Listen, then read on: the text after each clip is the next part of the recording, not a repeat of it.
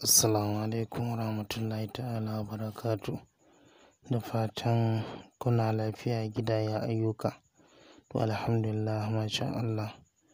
A wannan sirri da kuke gani, a sirri ne wanda muka kawo muku shi wanda insha Allahu za ku ga amfanin shi sosai. Eh sirri ne na kama ɓarawo. Idan a ɓarawo ya sata to ana rubuta waɗannan haruffa na kaf, he, ye, ayn, swad. Ana rubuta su ƙafa uku. Eh sai a samu a naɗe a laya. A je a samu dutse mai, dutse mai nauyi sosai sai a danne. To insha Allahu wannan ɓarawo ba zai iya tafiya da wannan kaya ba. Ko da ya tafi insha Allahu sai ya dawo da shi.